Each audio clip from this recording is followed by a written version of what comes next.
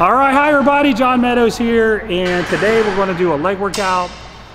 Specifically, we're going to do a workout that doesn't involve squats or deadlifts. Now, I love squatting. I always love squatting, but it's a little too hard on my body these days, and I get messages all the time from people saying, you know, their back has issues, or their neck, but or their, even their elbows from the torque on the bar. So not everybody can squat. So even though we all love to squat, not everybody can squat or even do a deadlift, like a trap bar deadlift, or even a stiff legged deadlift. Again, maybe your back's beat up or what have you. But I have good news. You can absolutely build phenomenal legs without squats or deadlifts. Uh, just to give you a very quick story, in 2013, around there, I started having problems with my back. I wouldn't even call it an injury. I would just call it overuse from 30 years, 30 plus years of training to where it doesn't feel comfortable for me either. So I had to abandon the squat as much as I love it, the free, the barbell free weight squat, I should say, uh, the bar sitting around your back, and um, I had to, I had to just continue to work my legs in other ways, and my legs actually got better. So there is hope. We're gonna hit a hit that workout today. I'm gonna show you. So if you can't squat, if you can't deadlift, no fear. Let's get to work. So the first thing we're gonna do is we're gonna warm up and train your quads on the leg extension. Now the reason why I'm doing that first is because our next exercise is going to be more of a leg press or hack squat or supported back squat, you'll see. But I prefer to have your legs really warmed up, your knees warmed up, your quads warmed up. I think that second exercise is going to feel a lot better if we do that. So again, we're going to start with leg extensions. We're going to uh, hit probably three or four quick warm-up sets here, and then we're going to get to work. All right, so I lied about the warm-up. We did our speed warm-up. The speed warm up is when you do six reps, you make it a plate heavier, you do six. You make it a plate heavier and you do six, and you keep doing that until you can barely get six. So it's just sixes all the way up the stack or down the stack until you can barely get six. And you stop. That's your warm up. And it is straight fire. It's also good if you're kind of on a tight schedule. I'm a little bit on a tight schedule today, so working a little faster. Now, once you're done, here's what we're going to do. You're going to essentially do one, I don't even know what you call it. It's not really a true cluster set, but it kind of is a cluster set. Or you call it a bunch of mini sets. I'm just going to call it one set. So the weight that we left off with, after you rest a little bit, you'll probably be able to do 10 or 12 reps with it, but we're going to do 25. So the way you get to 25 is first of all, all the reps have to be full range of motion. When you can't get full range of motion, you have to stop. I want you to stand up. I want you to shake your legs, shake them out, get back in there, do another three or four. And you keep doing that all the way to 25 reps. Only one set of this. I promise you, if you do more than one set, you're going to regret it. One set of this is brutal. So, okay, it's been about three minutes. Um, I did this workout 10 days ago, uh, by the way, and it was it was pretty painful. So, okay, 25 reps. Oh. Last one. Ah.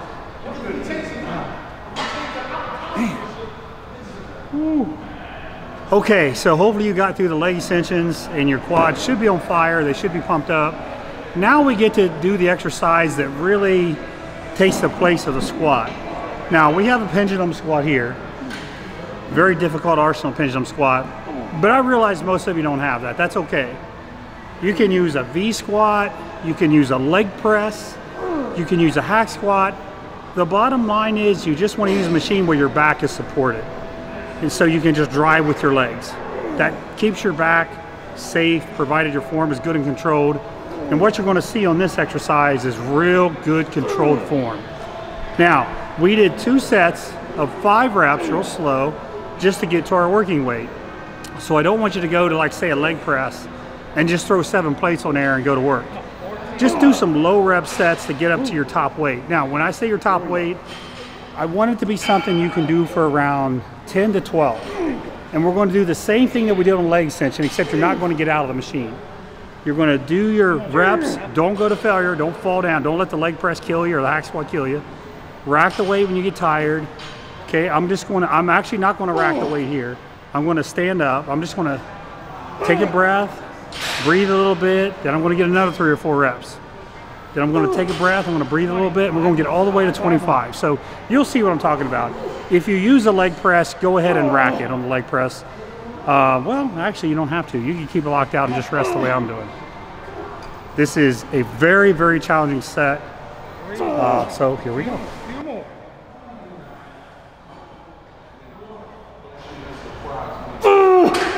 Last one. Finish, finish. Ah. Okay, so we did one set on the pendulum squat. You can use whatever, your hack squat or leg press, or whatever. Now, let me explain to you why that is so effective. So let's say you do what we normally do, which is three or four sets. The last two sets have some tough reps in it. Maybe the last four or five reps are tough on the third rep or third set, maybe. The last set, maybe the last five are really tough. So you probably got eight to 10 reps that you have to fight. And realistically, you probably only got two or three reps where you have to really fight hard. Now think about all those hard reps we did on that. So I did something like 10 reps and it got real hard. And then notice how I kept doing one or two, one or two, two, then one. Every one of those reps was really hard. Every time I stopped, if I went back down, I might not have been able to get back up.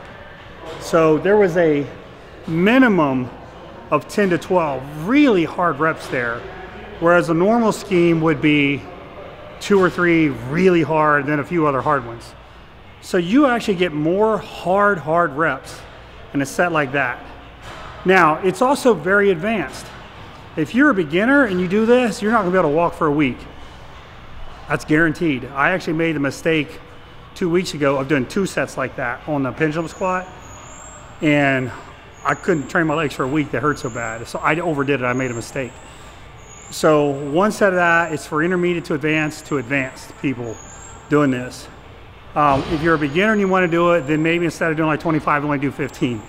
But again, no more than one set like that. So now we're going to do some more quad work and we're going to incorporate a little bit of glute work.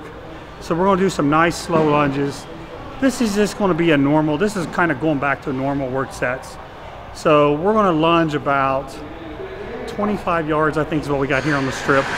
So we're going to just do three sets of lunges at about 25 yards apart. At the beginning, I said you're probably not able to do stiff-legged deadlifts or any kind of deadlift variation for your hamstrings. No fear, leg curls are here.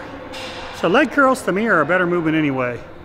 Um, you hit part of your hamstring, the kind of the lower outer quadrant, the short head of the biceps femoris. But anyways, I think the leg curl just overall is, is the most underrated leg exercise you can do. So what we're going to do is we're going to finish off here. We're going to do two straight sets of 10. And then the last set, we're going to go out in style. We're going to do your 10. Then we're going to do 10 really slow partials out of stretch position. And then we're going to do an iso hold for, I don't know, let's say 20 seconds. That should burn like fire. So two sets of 10. Your third set, 10 reps, then 10 partials out of the bottom, and then 15 second iso hold. So time to get the hamstrings. Finish off in style. Six, seven, eight, 19, 20. All right, that was it. Make sure you do those partials. Do them nice and slow. If you go fast, you can hurt yourself. So nice slow partials out of the stretch position. It just keeps the tension going. It keeps driving more blood in there. So your hamstring should be demolished now, your quads, and no squats, no deadlifts. And that is a very, very effective workout. So I hope you enjoyed it. We appreciate you watching and we appreciate you supporting the channel as well. Thank you very much, and we'll see you next time.